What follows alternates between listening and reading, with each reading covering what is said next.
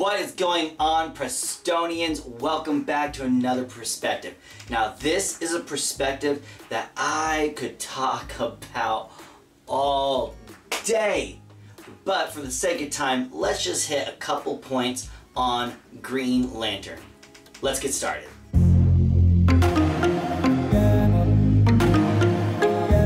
So this is one of my favorite books in the whole Green Lantern collection in the superhero room, celebrating 75 years. I'm playing with some lighting, so hopefully you guys can read that and it's not the some of the lights aren't too shiny. But I love this because you get to see like the first Green Lantern, Alan Scott, and you get to just kind of see, then it goes into Hal Jordan, but you also get to see like how art changes throughout the years and throughout the decades and kind of becomes a little bit different or even just how they like print. Uh, let's see Wonder Woman Batman Green uh, I want to get one that like is for real Green Lantern. Uh, there you go right and so I love looking at this book and reading this book because there is a whole bunch of debate out there about like who's the greatest Green Lantern? And uh, today we're going to talk a little bit about that but we're going to talk about just the Earth Lanterns. Alright just the protectors of sector 2814 that's the sector where Earth is we're not going to talk about any of the other species or aliens like Kilowog or Mogo uh, maybe a different perspective and so for the sake of time we're going to look at four uh, five, really. So we're going to look at the very first, Alan Scott. We're going to look at Jessica Cruz, John Stewart, Kyle Rayner, and then Hal Jordan. Uh, there's also Guy Gardner and Simon Baz, but for the sake of time, we're going to kind of just push those guys to the side. Um, but let's talk about the very first Green Lantern because you can't discount the gr first Green Lantern. His name is Alan Scott. Now his power ring is based more on the magic realm. He got his power from a green meteor that crashed into the earth and the cool thing about his ring being more magic in the first early like earlier comics it allowed him to do all sorts of crazy things okay guys he is able to shapeshift uh, and turn himself into an envelope and he meld himself to a bad guy um, it used to uh, it would allow him to phase kind of like the Flash does and walk through walls. Uh, it's pretty it's pretty awesome. All right, guys, and Alan Scott is introduced to us in the golden age of comics, and then when we hit the silver age of comics, which we'll talk about in just a little bit, um, that's where it, it changes from the more of the from the magic to the more of the science fiction realm. So comic books in general, Green Lantern, even Superman, Justice League, kind of took a, a break, kind of took a downhill in popularity.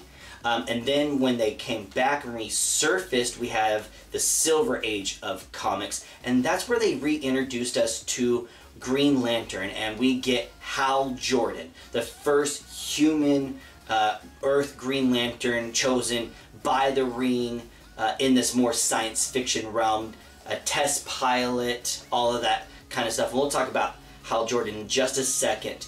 But we see the resurface of the lanterns in 1959. So let's talk real quick about John, Kyle, Jessica. So you have John Stewart. Now this is the guy that most people are going to know, um, especially if um, like growing up, like when I was a teenager and that kind of stuff, because of the Justice League animated series and Justice League Unlimited. John Stewart was the Green Lantern that worked with the Justice League at that time. John Stewart is introduced to us in 1971 and he is a former architect, which is really cool because his constructs are really detailed with the pillars and the braces and the rivets and just the attention to detail. Now, a construct. A construct is what is created by the ring. The beam of light or energy that comes from the power ring that the wielders, the users, the wearers use to create something, that is what's called a construct. So John's constructs are just more detailed as were like Hal Jordan's were more kind of simple and straight to the point. But hang on, see how I just keep kind of keep going back to Hal? Just hang on, hang on. So then you get Kyle Rayner. Now Kyle was really cool because the central battery where all the all the power rings get their get their power from um, and everyone's personal lantern that they use to power their ring was destroyed. And so the last remaining Guardian escaped to Earth with the last power ring and gave it to Kyle. Now, Kyle is an artist. So his suit looks a little different, his mask looks a different because he what he changed it up and created it. And the things that he makes, his constructs, um, are really like really creative, really imaginative, beautiful, because it's that artist side of him. Uh, he actually was the only Green Lantern for some time. And the cool thing about Kyle's story is he went on a quest to harness every emotion, every emotional spectrum, uh, every color of the power rings of the lanterns. So each lantern gets their power from some sort of emotion. So green is willpower, self-control. Red is rage. Yellow is fear. Orange is greed. Pink is love or the star sapphires. Indigo is compassion. Blue is hope. And so Kyle goes on a mission to overcome and to master all of these emotions and then he's able to wear all over the rings and then he is turned into the white lantern which ring is life itself and becomes one of the most powerful people beings in the universe and the white ring in comics is like one of the most powerful tools or gadgets a hero can use or wield then we have Jessica Cruz. Jessica Cruz is the first female human Green Lantern. Um, and she is really awesome because with Green Lanterns, the whole idea is that they keep going, they push through, they don't give up, they have the willpower to overcome great fear. Now, Jessica, she has witnessed some bad things. She even witnessed uh, two of her friends. Uh, life in life ending by a bad guy and so she has this anxiety like this crippling anxiety and she hates to go outside like she has this agoraphobia but when she call, hears that someone needs help or gets a call from the Justice League or whatnot, she does the right thing. And she goes out, she suits up, she puts the ring on, and she starts using her ring and becoming more confident. And the more confident she becomes, the stronger her constructs are. And even Superman himself has said, Man, I am impressed by Jessica.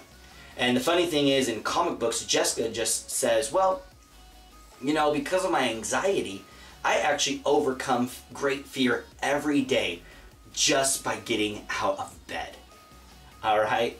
Now it is the time that we have uh, been waiting for. Well, okay, maybe just me, but now it is time to talk about Hal Jordan. So Hal Jordan, when the comic books resurfaced, is now the first human to wield the power ring. And his willpower, his ability to overcome fear, his self-control is unmatched, guys. It is like a top-notch willpower. Hal Jordan was introduced during that silver age of comics in 1959, kind of like we talked about a little bit earlier with the more of the sci-fi base. The ring is chose, chosen, wow, the ring chooses you. You're transported to the planet of Oa. You meet with the guardians of the universe. You're trained and all that kind of stuff. And then you're sent out to patrol, protect, and fight. He's a member of the Justice League, the Green Lantern Corps, and then there was a time in comics where he teamed up with just Green Arrow for a series or for a run, which is pretty awesome. His willpower has um, made him so strong and it has allowed him to create some really strong and awesome constructs um, but still kind of simple like we've talked about earlier. So he he just thinks a matter of fact uh, which I really like because I'm more of a matter of fact logical kind of guy thinker. And so oh I need to catch something? Let me real quick make a glove oh, I need to stop somebody, let me put up a brick wall they can run into, or let me build a cage around them. More of those like just simple constructs.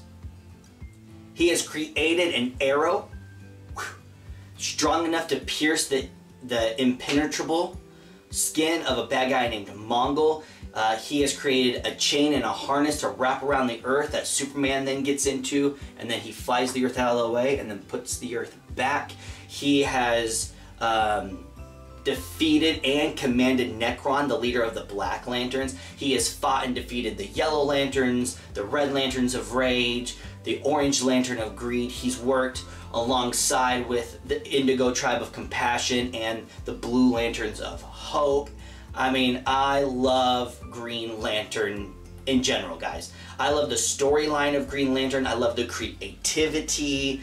So, like, the whole multiverse that DC has created, put that to the side, and just the Green Lantern verse itself is massive and huge. With all the different color, all the different power rings, all the different planets and species and people, it is incredible. And I love the power rings. I have a two like more than one collection of power of power rings. Uh, the power rings just they allow you to do some really cool things. Um, you know, some big things like a jet or a train or Godzilla to more simple things like a wall, a table, and a chair. There's one comic book where um, Hal Jordan and Barry Allen, who become pretty good friends in the Justice League, uh, need to have a little chat of why things are still going on uh, down down below. So Green Lantern takes Flash up into the sky with him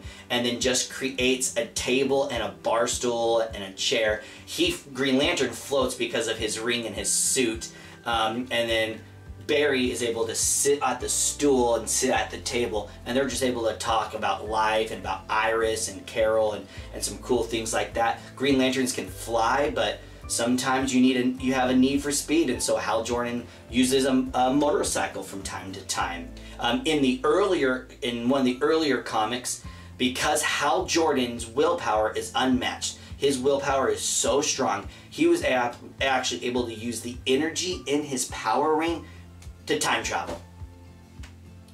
Yeah, like to travel through time, like decades and decades and decades, uh, because, and he was the only one who could do that because his willpower was so strong. Okay, see how I could just kind of keep going and I could talk about Green Lanterns forever? But sadly, we are out of time today, my friends. Thank you for listening. I know everybody has their own opinions and their perspectives, so thank you so much for listening to mine. Do you have a favorite color lantern? Drop it in the comics. Do you have a favorite Earth lantern? Jessica, John, Kyle, Guy, Simon, Hal? Uh, drop that in the comics. I would love to hear about your perspectives and who you like the most. Catch you guys in the next video.